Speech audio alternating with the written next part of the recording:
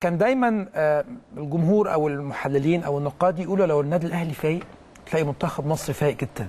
لما النادي الأهلي ما يكونش فايق ويبقى بعيد عن البطولات الأفريقية منتخب مصر بيكون واقع والكيرف بتاعه بيكون لتحت. هل تتفق مع المقولة دي ولا ممكن تختلف؟ مليون في المية طبعا. مم. لا ال- ال- الفترة فاكر الفترة اللي هي بتاعت 2006 ستة، 2008 تمانية، 2010 مم. كان 60 70% م- من قوام ال- ال- الفرقة الأساسية من النادي الأهلي. فأنا طبعا مع المقولة دي ال- ال- النادي الأهلي لو فايق بيفوق كل المنتخبات مش المنتخب ال- ال- الأول بس مم. كمان المنتخبات ال- الناشئين. آه بيبقى فيها لعبة من الأهلي وهي اللي بتفرق مع أي منتخب طبعا.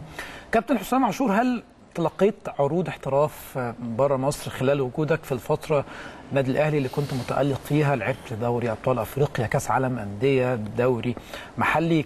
كان في بعض العروض اللي ممكن كانت تيجي للكابتن حسام عاشور؟ بص أنا يعني أنا زي ما بقول لك في والله العظيم بجد في آه، كتير قوي ناس كلموني من بره. في حتى في الفترات اللي أنا كنت بخلص عقدي مع النادي الأهلي. يعني أنا عارف. فكان في. أندية كتير قوي تيجي عايزينك آه، وبفلوس كتيرة جدا. كتيرة جدا. بس بيجوا في الفترة اللي أنا خلاص يعني إيه عقدي بيخلص في النادي. فيعني انتهت ال- المديرين الكورة اللي اشتغلوا في النادي الأهلي واللي أنا اشتغلت معاهم. على طول لما بيجي مثلا يقول لي تعالى امضي مش ما بقولوش بقى أنا جاي العرض وأقعد أفاوضك بقى مش عارف إيه. طب أنا جاي هنا 10 طب اديني أنت ال 10 دولت وأقعد مثلا 10 10 جنيه مثلا سي. اديني 10 جنيه مثلا وأقعد. أه، ما كنتش بقول كده. خلاص أنا همضي أنا تحت أمر النادي الأهلي.